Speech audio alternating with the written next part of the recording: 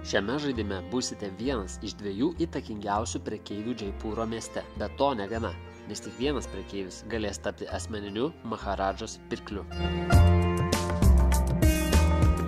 Sveiki prisijungę į Playboard žaidimų apžvalgą. Šiandien supažindinsiu jūs su dviems žaidėjams skirtų žaidimu Jaipur.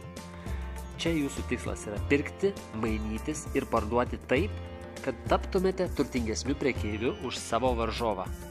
Tai įtemptas ir greitas žaidimas, kuriame reikia ir pasukti galvą, ir paieškoti tinkamo sprendimo.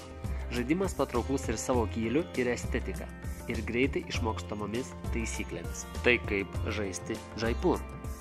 Pirmiausiai paruoškite žaidimą. Paimkite po penkias kortas. Atverskite tris kupranugarių kortas stalo viduryje. Žaidėjai gavę kupranugarių kortų privalo jas atversti priešai save. Kiekvienas žaidėjas savo ėjimo metu gali rinktis vieną iš dviejų veiksmų imti kortas arba parduoti kortas ir gauti monetų. Kortas galite gauti trimis skirtingais būdais. Pirmas būdas – imant vieną prekių kortą ir pasiliekant ją savo rankoje. Antras būdas – imant visas kupranugarių kortas ir pasiliekant jas atverstas priešais save. Trečias būdas – mainant dvi arba daugiau prekių kortų į savo turimas kortas, įskaitant ir kupranugarius. Kupranugarių turimas skaičius neribojamas, bet rankoje galite laikyti nedaugiau kaip 7 kortas. Tad rinkitės atsakingai. Parduodant kortas, jų rūšis turi būti vienoda. Tad galite parduoti vieną arba daugiau tos pačios rūšies kortų ir gauti daugiau monetų. Vienu veiksmu, parduodant 3, 4 arba 5 kortas, gaunate papildomų monetų, kurių vertė didėja priklausomai nuo sandorio dydžio. Atkreipkite dėmesį, kad pirmieji sandoriai vertingesni, tad jums teks rinktis, ar skubėti parduoti turimos kortas greičiau už varžovą, ar taupyti jas dėl to saldaus priedo.